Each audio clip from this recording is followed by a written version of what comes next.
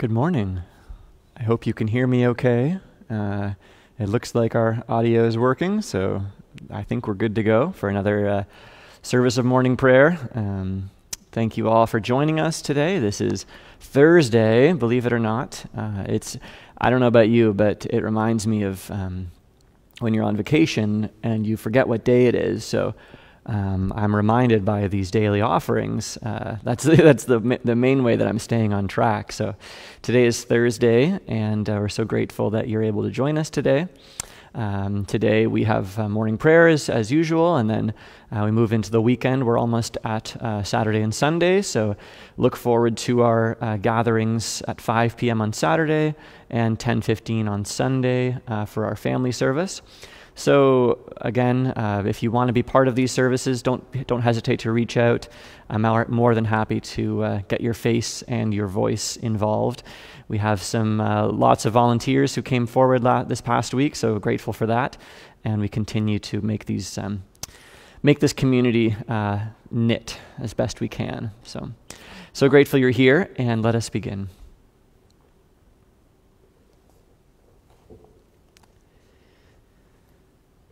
Jesus said, If anyone would come after me, let him deny himself and take up his cross and follow me.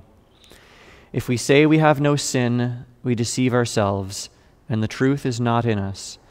But if we confess our sins, God, who is faithful and just, will forgive our sins and cleanse us from all unrighteousness. Dearly beloved, we have come together in the presence of Almighty God, our Heavenly Father, to set forth His praise, to hear His holy word, and to ask for ourselves and on behalf of others those things that are necessary for our life and our salvation. And so that we may prepare ourselves in heart and mind to worship Him, let us pray in silence and with penitent and obedient hearts confess our sins that we may obtain forgiveness by his infinite goodness and mercy.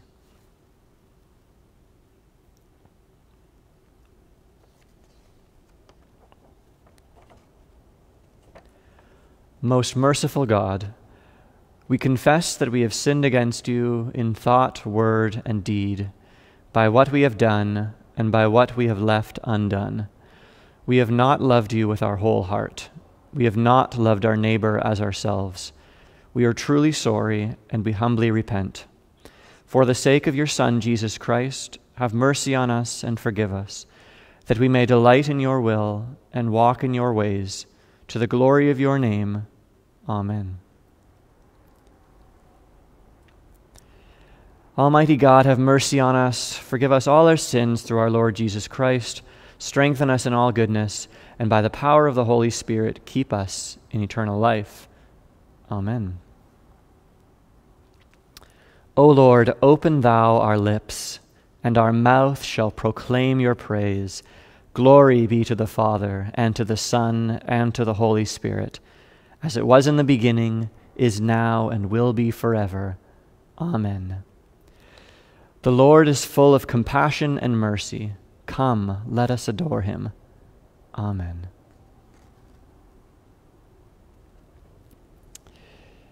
Today's psalm is Jubilate, Psalm 100, and we'll read responsively.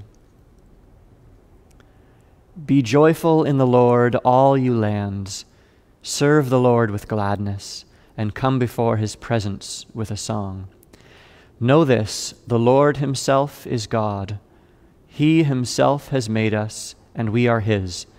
We are his people and the sheep of his pasture.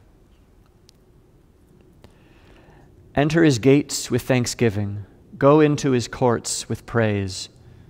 Give thanks to him and call upon his name. For the Lord is good, his mercy is everlasting, and his faithfulness endures from age to age. Glory to the Father, and to the Son, and to the Holy Spirit, as it was in the beginning, is now, and will be forever. Amen. We now move into our meditation time, so we'll need our Lenten books, uh, Living Well Through Lent, and we're on page 48 today. we'll be led by an extended um, sermon and meditation by uh, Deacon Bill Zettinger. So we're grateful for his participation uh, in this. And um, as Bill meditates for us. Um, we'll be moving on. We'll be moving into our time of prayer right after. So if you have anybody you want to lift up in prayer today, just go ahead and type their names in um, in the Facebook comments. And even if you are watching this later in the day, um, feel free to still leave those names and we can read them uh, as the week goes on. So without further ado, here is our uh, prestigious deacon, Bill Zettinger, for our meditation.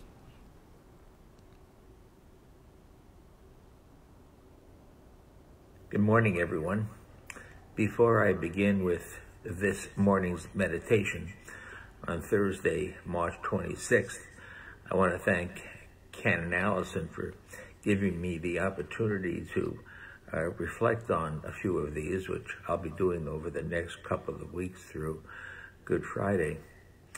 I think this meditation this morning is really appropriate because the title is The Courage to Let Go of Darkness. And that is really true in our time here today. Uh, it's written by Scott Stoner, and he starts with a, a verse from Ephesus. And as you know, I can't uh, help but to do anything but teach a little. Uh, this letter was probably written to multiple churches, uh, not just the church in Ephesus. And it may not have been written by Paul. Uh, may, traditional scholarship said it was written while he was in prison, but maybe it was written by Timothy. Uh, and there's great debate about that. But the theme, the theme is keeping the church pure and holy and eradicating fear and doubt and realizing that God loves you and how you apply these truths in a practical way. So it really kind of fits in with where we are today. And the verse that Scott begins with is from Ephesians 5. There's only six chapters, so it's easy, it's an easy read for you. For once you are in darkness, but now in the Lord you are light. Live as children of light. For the fruit of the light is found in all that is good and right and true. Take no part in the unfruitful work of darkness. Boy, that rings true today, doesn't it? The passage from Ephesians calls us to live as children of the light. And on the surface, that sounds not only desirable, but maybe even easy. But the question is for this morning, is it? After all, who would choose to live in darkness instead of light? And upon reflection, Though the deeper self-reflection, we recognize how it is all too easy, all too easy, to live in the darkness of prejudice, pettiness, self-righteousness, and fear. If we think about our world today and COVID-19, it's pretty easy to stay in the darkness. You don't hear much hope on the media. The news is full of stories of fear, bigotry, racism, and hatred. And behind each of these stories are people who are choosing to live in the darkness rather than live in the light. Living in the light of God's love is a continuing call to change, to grow, and to repent when we have chosen to live in darkness.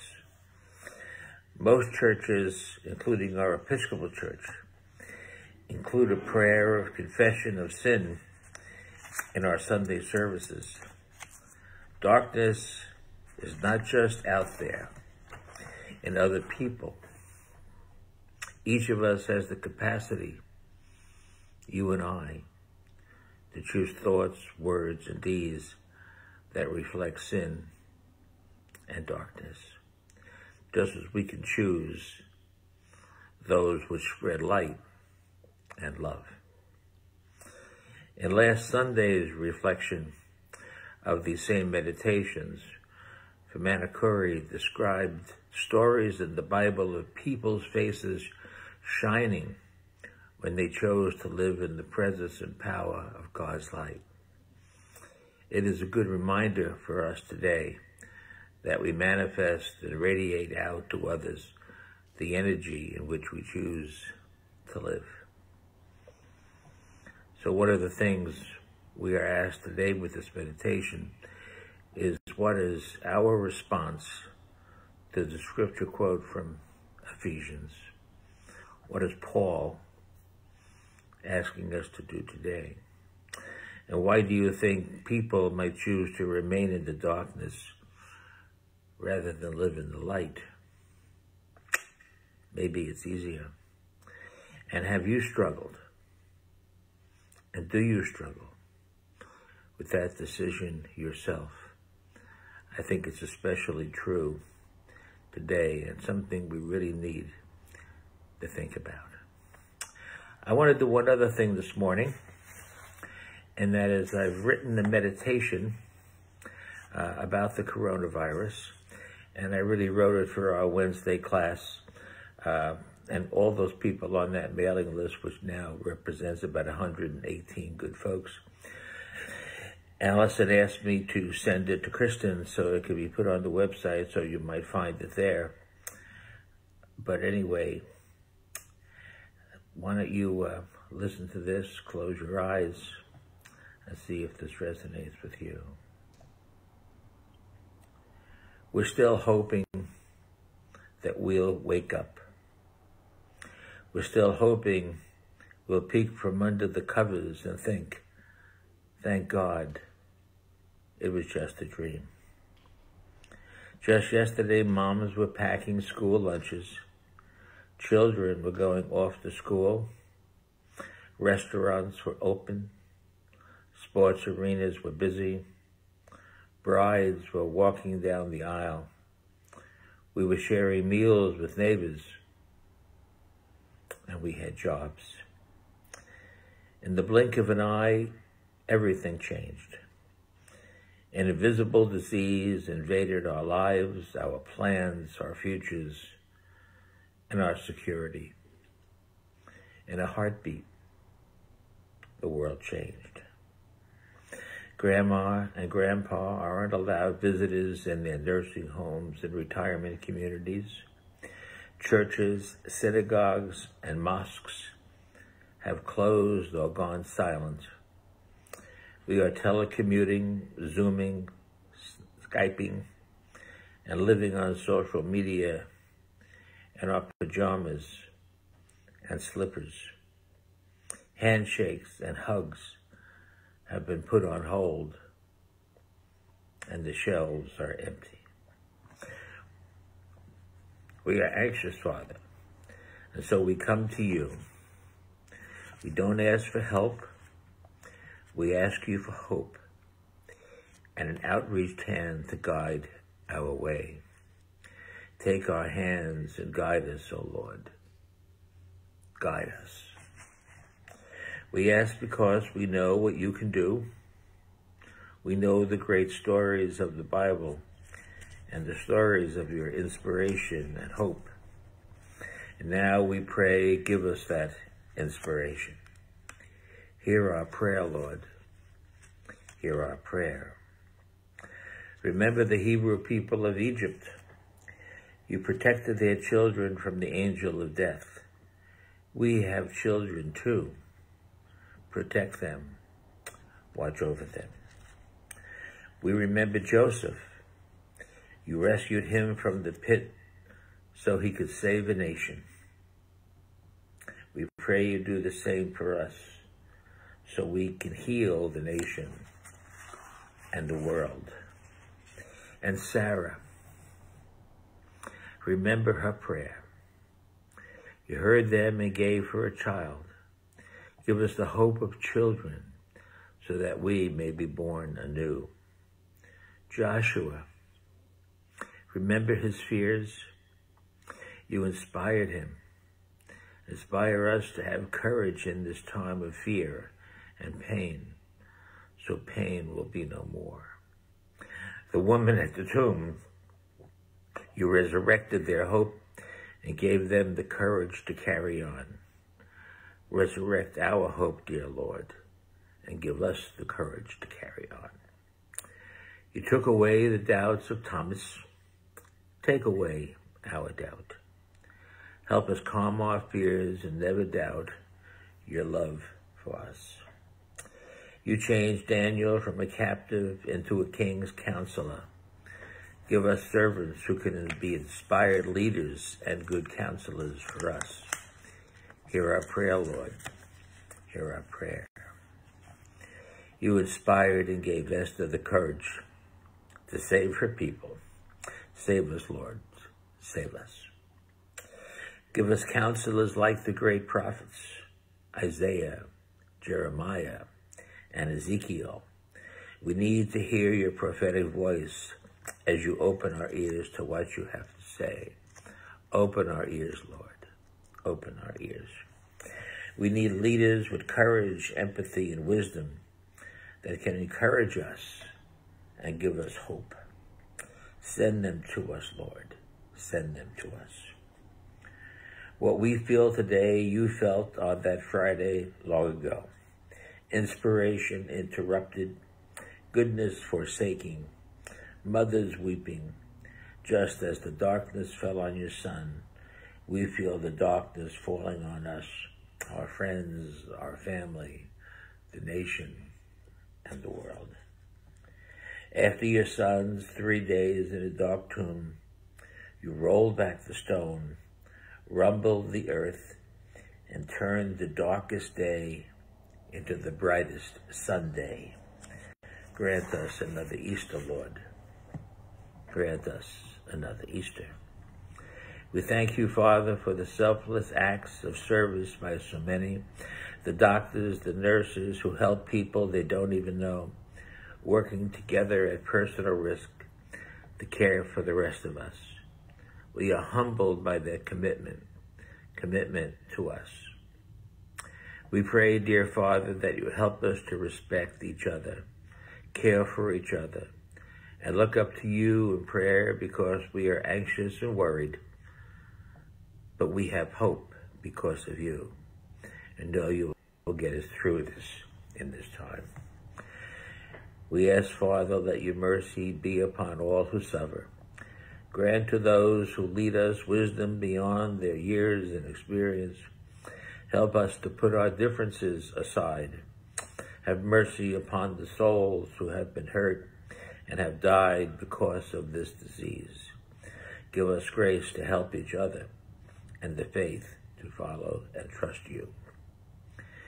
And look with favor upon your church. Give her the wisdom to lead the world anew.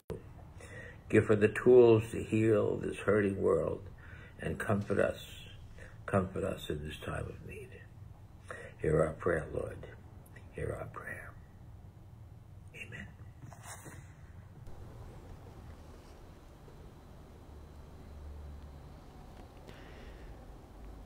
Well, thank you, Deacon Bill, uh, for that. And uh,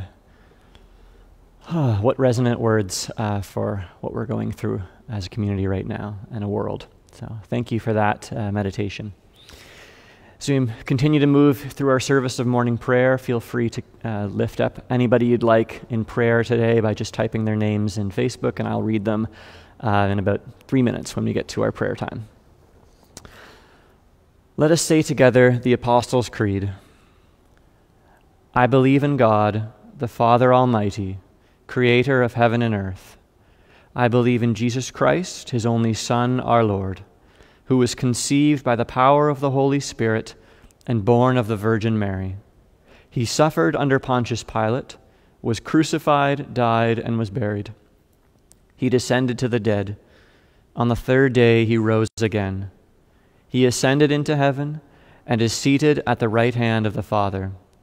He will come again to judge the living and the dead. I believe in the Holy Spirit, the Holy Catholic Church, the communion of saints the forgiveness of sins, the resurrection of the body, and the life everlasting. Amen.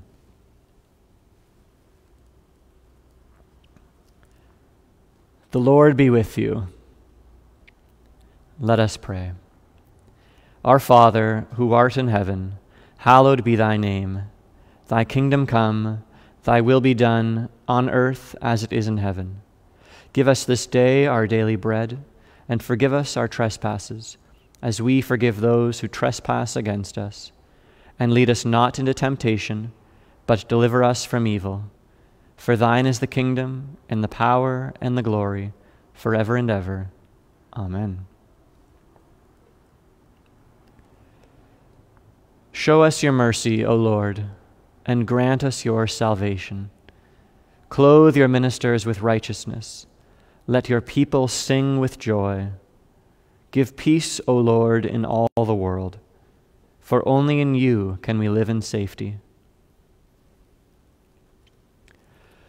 Lord, keep this nation under your care and guide us in the way of justice and truth. Let your way be known upon earth, your saving health among all nations. Let not the needy, O Lord, be forgotten, nor the hope of the poor be taken away. Create in us clean hearts, O God, and sustain us with your Holy Spirit. We now move into our time of uh, live petitions. So, again, feel free to type anyone you want to raise up in prayer.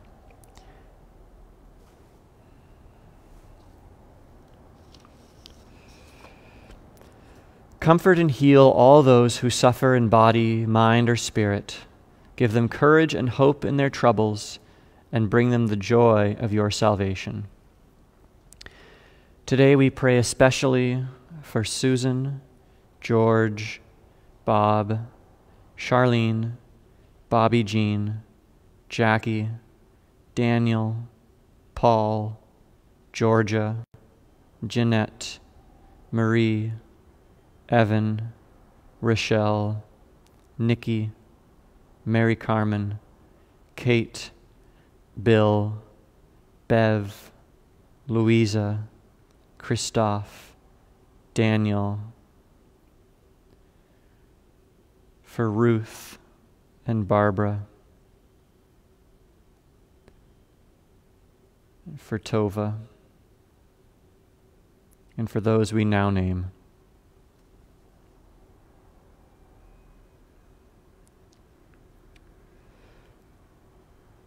Lord, in your mercy, hear our prayer. We commend to your mercy all who have died, that your will for them may be fulfilled. And we pray that we may share with all your saints in your eternal kingdom. We pray especially for Morgan and for those we now name.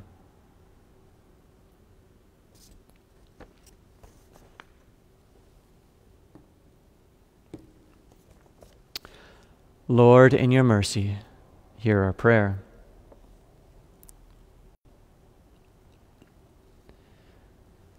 Heavenly Father, in you we live and move and have our being.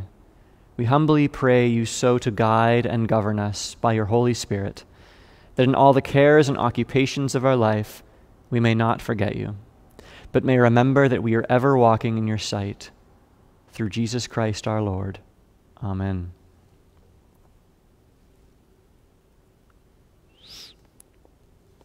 Almighty God, Father of all mercies, we, your unworthy servants, give you humble thanks for all your goodness and loving kindness to us and to all whom you have made. We bless you for our creation, preservation, and all the blessings of this life, but above all for your immeasurable love in the redemption of the world by our Lord Jesus Christ, for the means of grace and for the hope of glory. And we pray, give us such an awareness of your mercies that with truly thankful hearts we may show forth your praise, not only with our lips, but in our lives, by giving up ourselves to your service, and by walking before you in holiness and righteousness all our days. Through Jesus Christ our Lord, to whom, with you and the Holy Spirit, be honor and glory throughout all ages. Amen. Almighty God, you have given us grace at this time with one accord to make our common supplication to you. And you have promised through your well beloved Son that when two or three are gathered together in his name, you will be in the midst of them. Fulfill now, O Lord, our desires and petitions as may be best for us, granting us in this world knowledge of your truth, and in the age to come, life everlasting. Amen. Let us bless the Lord. Thanks be to God. The grace of our Lord Jesus Christ, the love of God, and the fellowship of the Holy Spirit be with us all evermore. Amen. As we move uh, into our day, I hope you are showered with God's blessings um, through your daily tasks. And uh, just reminder that uh, this little thing below me. Um, again, St. Bart's continues to operate even though our campus is closed, and we're so grateful for any support you can offer during this time um, to, to, keep your pledges going and for any support you can give to our uh, crisis um, pastoral care fund that we're, um, we're continuing to, to support our community with. Uh, tomorrow we'll be back at 10 a.m., so I hope you'll be there to join us. Um, I might be on the piano tomorrow, so that might be exciting. And we have a special guest who's going to be with us uh, live and in person, so look forward to that. This person is, you'll recognize them, um, but they're very excited to do this, so I'm looking forward to having them join us. Um, and again, I hope uh, you have a wonderful day. Thank you so much for joining us. And um, May God protect us and guide us as we move into our day. Peace be with you. Goodbye.